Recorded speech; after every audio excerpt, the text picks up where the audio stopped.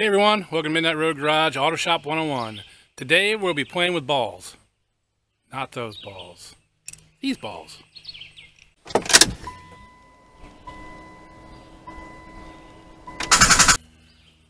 When we talk about trailer hitch balls, there's generally three sizes that we're dealing with. That's 1 and 7 eighths, which is for small utility trailers generally.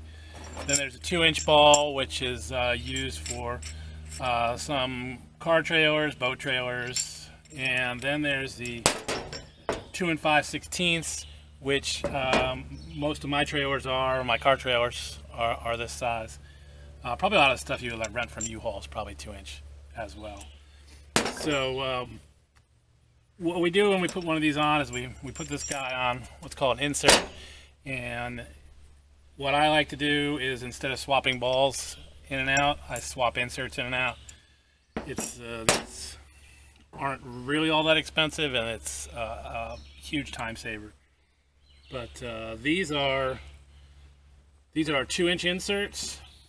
So your, your width here is, is two inches.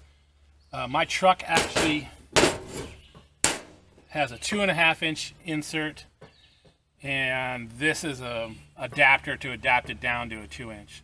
So uh, that's what we're gonna do. But first we got to put this ball on to this insert we'll be using this wrench here for the nut on the bottom and then we'll be using this to hold that we will not be using the channel locks but if if this is all you have this will absolutely work uh, I've used channel locks many, many times. Uh, you can use channel locks and maybe one of these guys. But uh, wherever you're buying your trailer hitch ball from, they probably sell one of these. Uh, so, I mean, I have one. You can. This one is this is a Reese, so it probably came from AutoZone or Advance Auto or something like that. But uh, they sell uh, they sell these at Harbor Freight. This this is from Harbor Freight. This one's from Harbor Freight.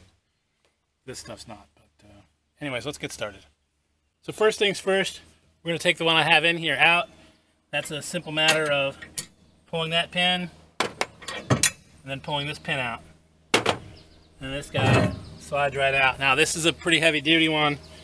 You can see this has a uh, gross trailer weight 20,000 pounds, uh, tongue weight 2,700 pounds. So uh, if you're really towing something big time, you want one similar to this. You're probably thinking, Jim, we haven't put the ball on the insert yet. Why are we taking out the old insert? Well, that's because this is way better than trying to use a vise or having your friend hold the insert or, or anything like that. What we do is we pop that insert in there.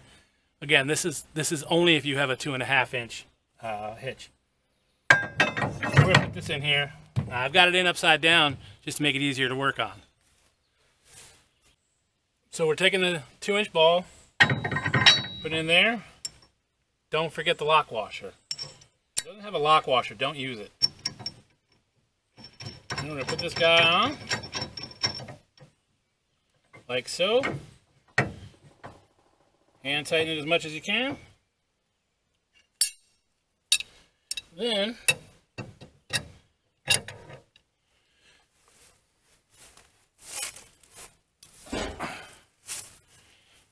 on the side of that ball, there should be a couple flat spots, depending on the ball. Some balls have a whole thing that looks like a uh, nut.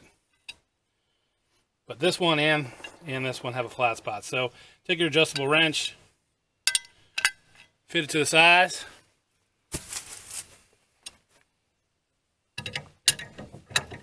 Slip it on. Use this tool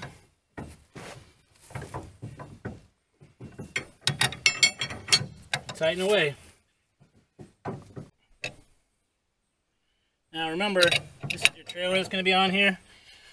You want this as tight as possible because the last thing you want is this nut to come off, the ball to pop out, and the trailer come flying off the back of your truck. Now you're probably thinking, well, there's safety chains. You know what? starts with getting this guy tight.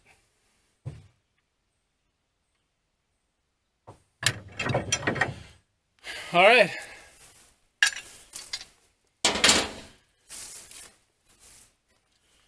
So there you have it. That's the tightest she gets.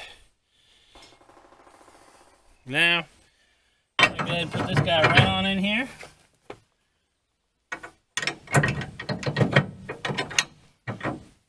Pin in.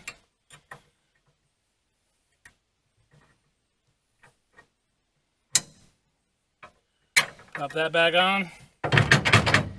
She's not going anywhere.